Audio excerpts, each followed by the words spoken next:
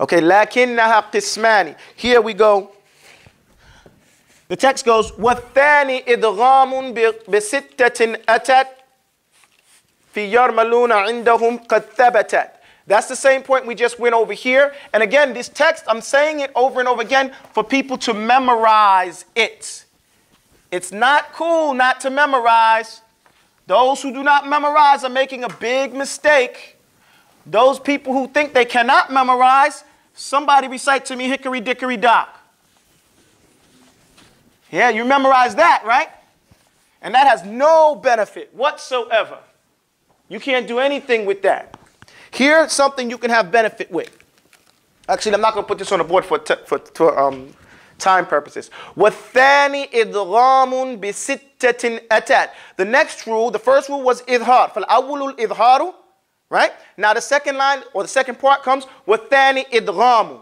So the first rule is idhar. The second rule, rule is idgham. with regards to what? Noon is second, what tanween. So I'm going to put a noon here and tanween just so we can see what we're talking about here. So the first one is idhar. And the second one that we're going to go to now is idgham. Okay, that's the second rule. And we're going to go to the other two rules some other time. Now, idgham has how many types? Two types, one and two. This one has gunna, and this one has no gunna. Let's do like this. No gunna. Okay? Now, the next line, لكنها قسمان قسم يضغم فيه بغنة بينمو علما. The second line goes لكنها this one لكنها قسمان قسم يضغم أو يضغم it's يضغم فيه بغنة Biyanmu, Biyanmu ulima. ulima. Sorry. Okay, it says, lakinnaha. I'm not going to write this all over because we wrote this last week. However, it, it meaning the idgham, is of two types. A type that has ghunna, yudghama, that you put ghunna in there. Fihi, you put ghunna, yudghama, fihi. That's the end of the sentence right there. Fihi bighunnatin biyanmu ulima. Then he says bighunna with this fihi bighunnatin biyan. It's not the end right there actually. Fihi bighunnatin biyanmu ulima. So yanmu here it points to the ya, the noon, the meme, and the wow, like we earlier said. Ulima means know these two points. Okay? Know that point. After we get through with this, we go on to the next point. Anybody have a problem with that? What it means is those four letters. What are the four letters? The four letters are ya, noon, meme, wow. You can remember them by saying what word? Yanmu.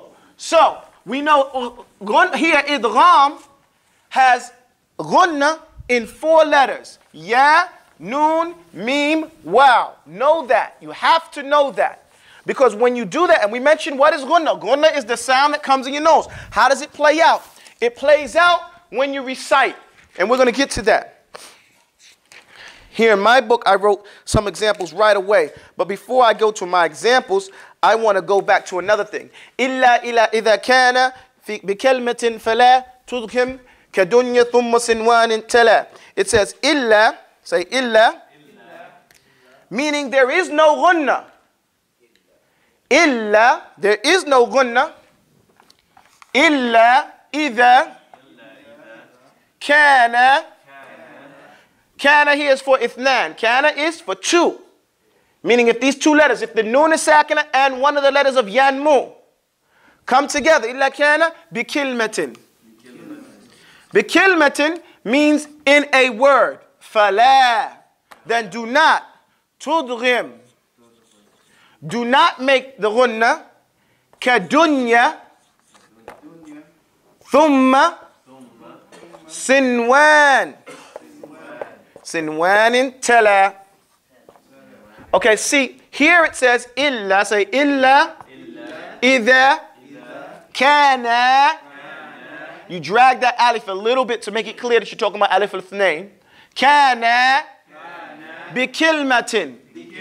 You can say kalimatin, you can say kilmatin, you can say kulmatin. But kalimatin, or kilmatin, they mean a word or a sentence. Kulmatin is a piece of earth that is hard, like a rock. So kilma or kelma is a word. In fact, you hear the, a lot of the, the, the Libyan brothers. When they hear something, they say kilma, they say word, kilma, kilma, kilma. They say word, word. Just like they're from Brooklyn. You know, kilma, kilma, kilma. You know, so you can pick that up. It's, and it's proper. Kilma, word. You know, just like that. So that's how you say that. Kilma. Fala. So then do not, tudghim. Then do not make gunna. Gunna. When you see here noon comes before, a, a, a yeah comes after the noon. Here we have a noon, which is second, with a yeah, which is mutaharrik. The yeah right here. Here we don't make gunna. You do not make gunna here. Why? Because they're in one word. Gunna is only between two words. Remember, if idhar was between in one word, right? Or it was between two words, right? Gunna is only in between two words, not in the same word. If it comes in the same word, there is no gunna. You pronounce that noon like idhar. Clearly and independent. You don't mix it. Okay? You don't mix the sound. They give two examples. Dunya. Say dunya. Dunya. Dunya.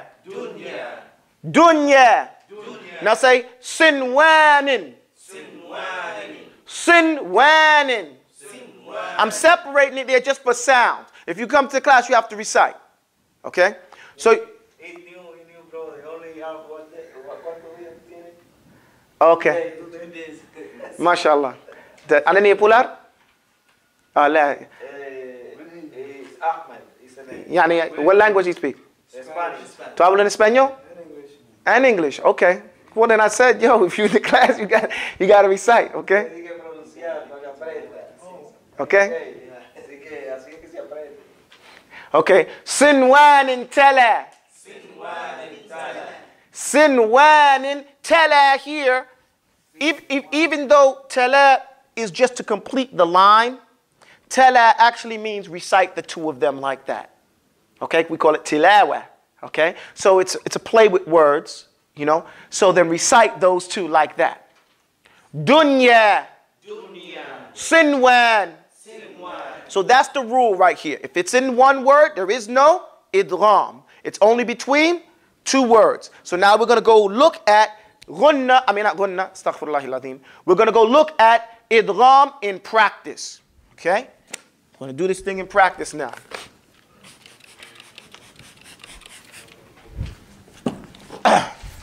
So we go through the rule. والثاني إدغام بستة أتت بير في يرملون عندهم قد ثبتت لكنها قسمان قسم يدغم فيه بجنة ب- ب- بغنة بريم علم إلا إذا كان بكلمة فلا تدغم كدنيا ثم صنوان تلا Let me go over it again.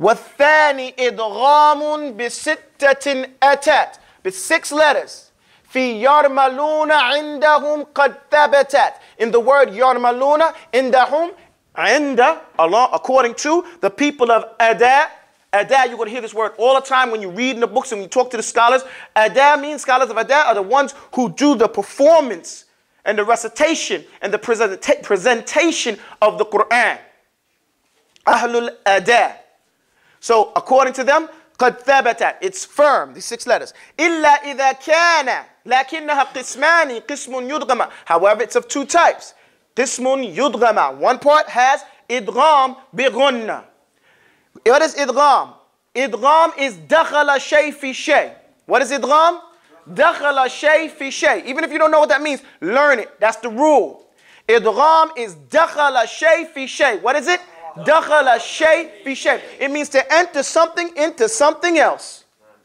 see how I entered my hand into my sleeve adghamtuhu. I made, I made idgham of my hand in my sleeve.